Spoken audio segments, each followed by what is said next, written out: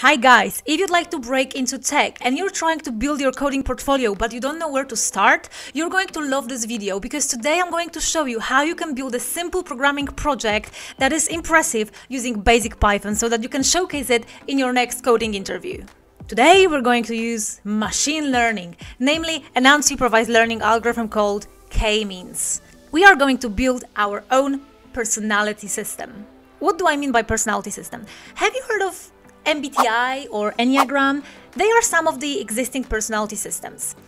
MBTI divides people into 16 personality types, Enneagram divides people into 9 personality types, but why not 10, 11, 12? I like to pick my own number. So today we're going to divide humanity into 10 personality types. Let's get started. Okay, so what is going to happen step by step? One, we are going to download 1 million responses to 50 personality questions from Big 5 personality test from Kaggle.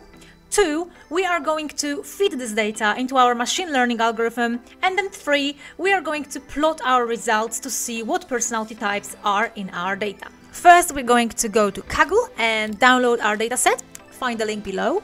Next, we're going to open Jupyter Notebooks they are free to install, so if you don't have them, please install them. Okay, let's open Jupyter Notebooks.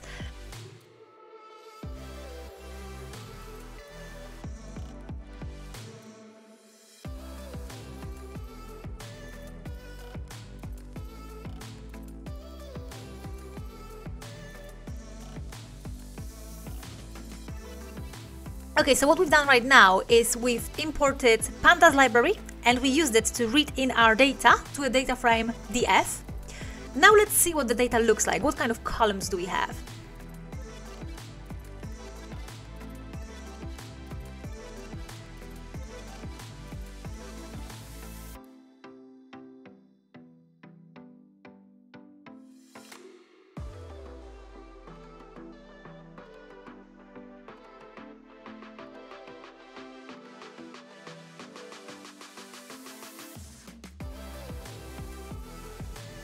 Okay, so columns 1 to 50 represent the test questions, like outlined in codebooks.txt.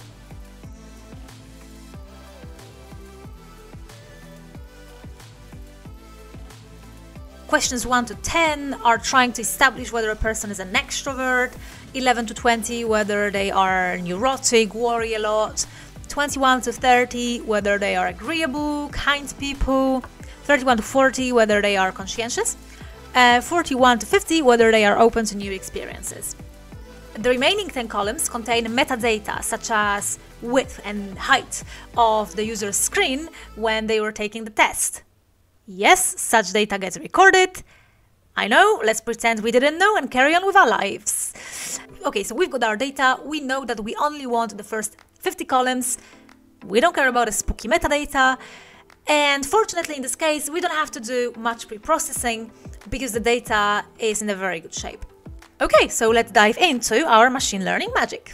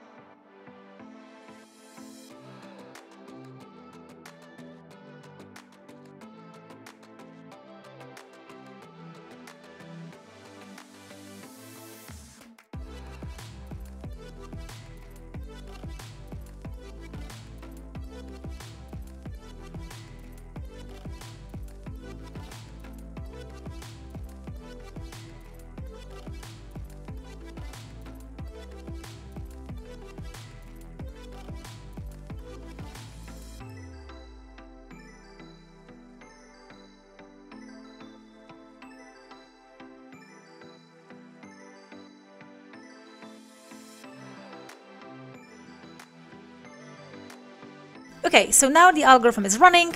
It's going to take about two minutes. So in the meantime, let me explain what we've done. Okay, one, I said I only want the first 50 columns and saved it to X. Then I said option display max columns so that we can see entire data frame. Um, otherwise, it'd be chopped off at one point and we wouldn't be able to see all the columns. You can check if you want.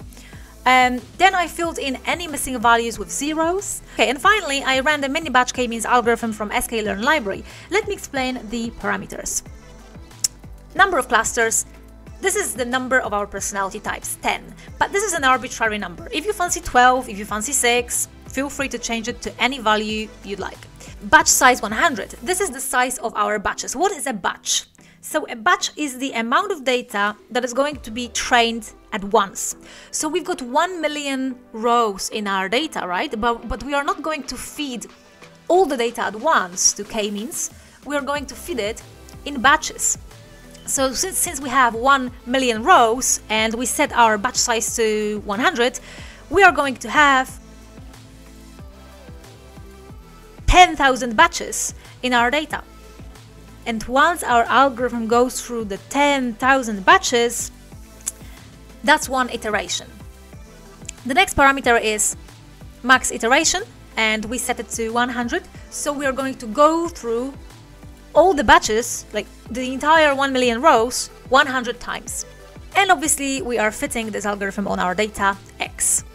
All right, let's see the results.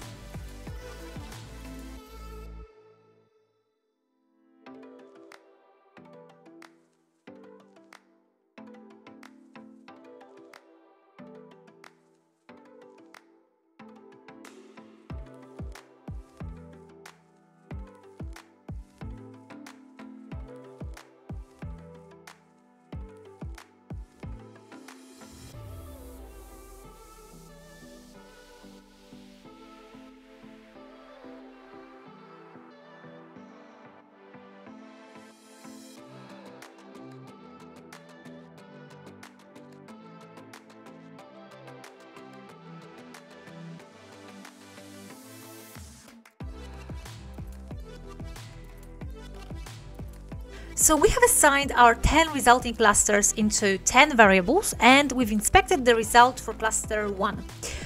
As we can see, it will contain answers to all the 50 personality questions. This is the picture of personality type 1. That's how a typical representative of personality type 1 would answer all the questions. Okay, but this is not very insightful yet.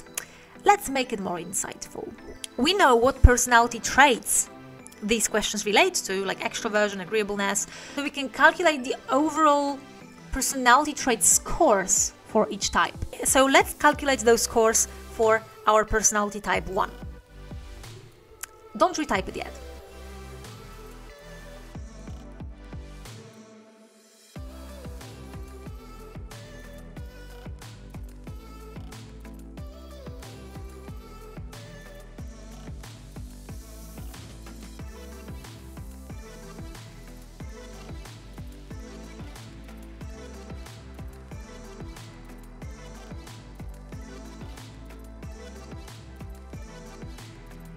Voila, that looks much better. Now we can much better see what the personality type 1 is all about. So what have we done? For each personality trait, we added or subtracted the relevant answers, calculating overall score.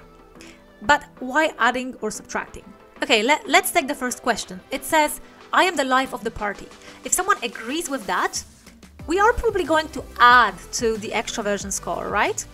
But then the second question is, I don't talk a lot. If someone agrees with that, we're going to subtract from the extroversion score. All right? Okay, so we know the scores for type 1, but we don't really want to repeat that for the remaining 9 times, do we? So let's do it in one go. Watch how.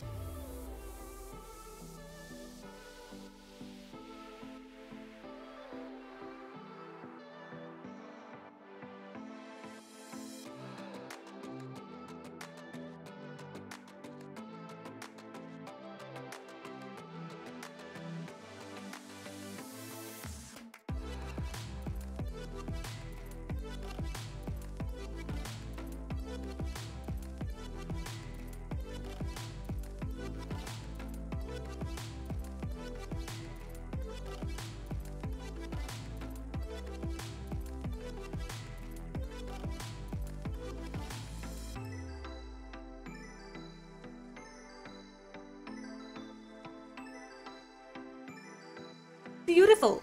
We've got our personality types, but there's one more problem. The magnitude of those scores are not relative to each other. In order to gain any real insight, and so that we can be able to compare those types, we need to normalize our data. We can do it with a simple equation. Let's do it.